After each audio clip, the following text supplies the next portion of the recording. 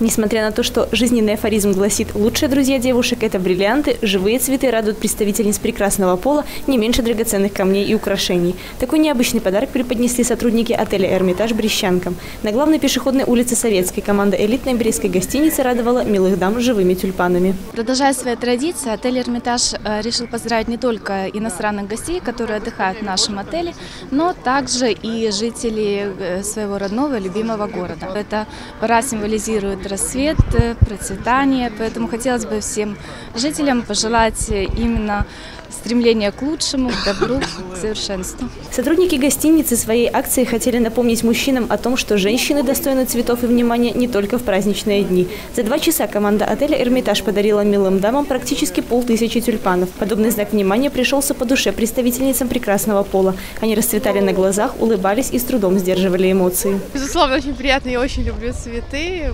Вообще просто молодцы, конечно, в восторге от вас. Спасибо большое. На самом деле, конечно, очень приятно и неожиданно. Эмоции такие. Приятные сразу. Да, потому что ну, совсем неожиданно. Я такая рада, я такая довольная. Господи, меня так поздравили, такие молодые, красивые ребята.